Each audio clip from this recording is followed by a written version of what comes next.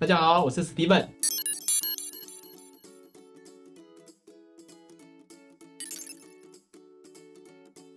这边是 Steven 数位社群行销解惑室，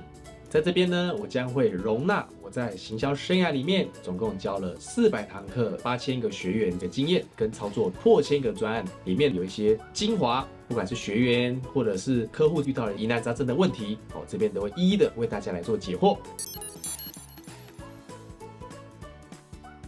小编可以做一辈子，也可以说不能做一辈子，因为可能以后没有社群这个词了，所以没有社群这个词，小编不就不存在了嘛，对不对？因为时代新媒体不断演进，以后元宇宙大家都融为一体，AR 的环境在看好，所以到底是不是还有社群呢，就不知道了，对不对？可是反过来说，也可以做一辈子，因为你要延伸这个职位，你要把它变成品牌跟消费者沟通的这一个撰稿者，或者是桥梁，或者是内容创作者，你的角色是这样，所以你可以善于帮品。牌做包装，帮品牌做策略，帮品牌做创意，帮品牌做发想，所以这样的话，你就不可能会失业了，因为你有你的 know how，你知道你要跟消费者怎么沟通，你知道怎么样打动网友，达到你要的效益，可能是要观看高、互动高、导流高、购买高，你知道怎么操作这些关键的。目的跟效益，所以要记得，就是说我们在工作的职位里面呢，先求把现在的本分先做好，再慢慢的知道说我自己的工作里面哪一些是我的能力值需要在精进的地方，把它补强起来。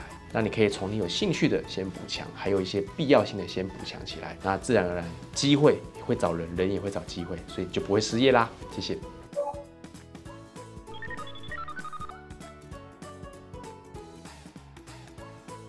如果有任何想要询问的地方，欢迎在下面留言处来留下你的问题哦。这样的内容都非常宝贵哦，欢迎大家来按赞、订阅、开启小铃铛。